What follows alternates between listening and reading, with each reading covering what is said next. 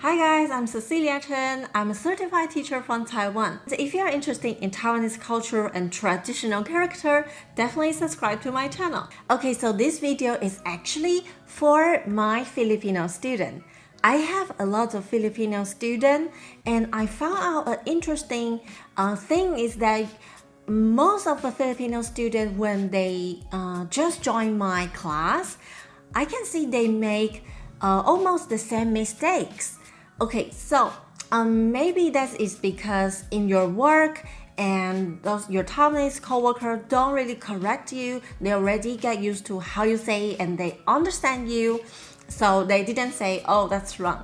But uh, if you really want to improve your Chinese, here I have some common mistakes that you can um, correct it. Okay. Right. So the first one is 我想想。 啊，我想想，What is the exact meaning of 我想想？Do you know？我想想 means let me think about it. Let me think about it. So it means that you are considering something, right?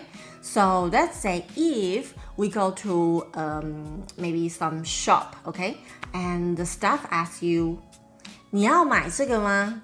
你要买这个吗？Do you want to buy this? And then if you want to take your time, think about, um, should I buy it or not? You can say, 我想想. Let me think about it. 我想想. Okay, so 我想想 is not equal to I think. Okay? I think. I think in Chinese, if you're expressing opinion, like you want to say, I think this is good, you will say 我觉得 我觉得很好。嗯，我觉得很好。You use 觉得 and followed by your opinion. And the other type of think is you're processing your brain, thinking about one thing, right? So how to say this type of think? That will be 想 only one 想 okay? Not two, not 我想想 only one 我想 Okay, so example, I kept thinking this problem or question. 我一直一直 means keep. 我一直想这个问题 problem or question is 问题。我一直想这个问题。I'm processing my brain. Okay, so this one is not for opinion. Mm -hmm. Okay, so just to know that 我想想 is just for future, present or future. Let me think about it. Okay, so the second one is when you want to express um, you finish something. I often hear my students say use 好了,好了. For example, if they want to say uh, when I done shopping, they say uh, 买东西好了.买东西 is shopping. 买东西好了. Or um, when I done eating, when I finish eating, they say 吃饭好了. 吃饭好了。Okay, this 好了 does has the meaning of ready or done. But you, most most of them you, you are using the wrong uh, way to express.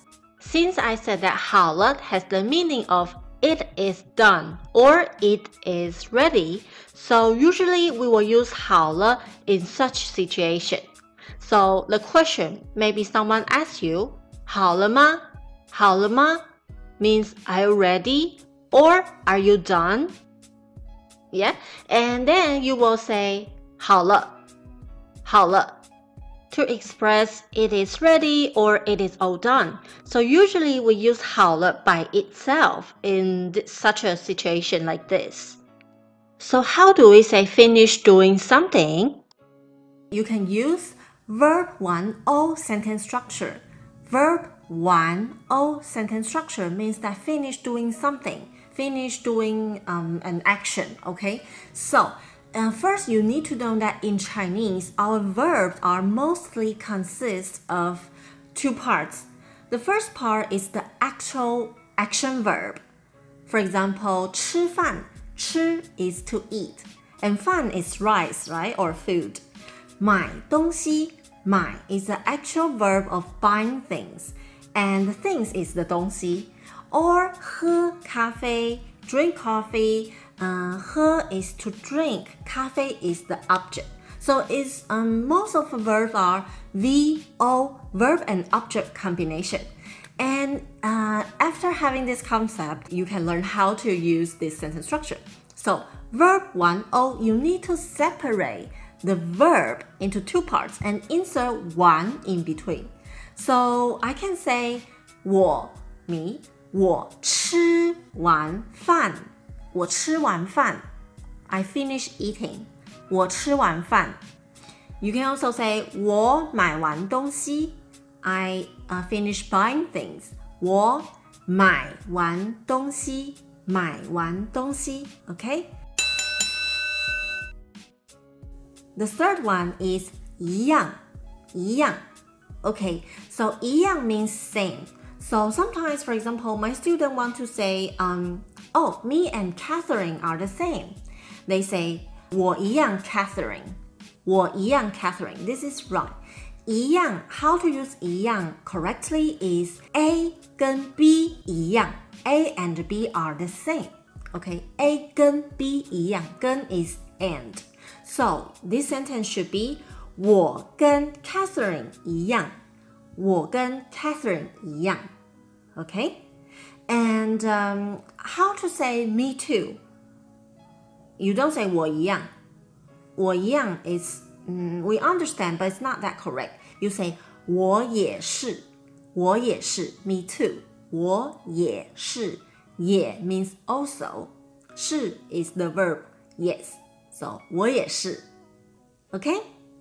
Alright, so I hope you learned something new today. Any questions or doubts are welcome to discuss in the comment section and I will try to reply you as soon as possible. Okay, I hope you enjoyed this lesson and I will see you in the next video.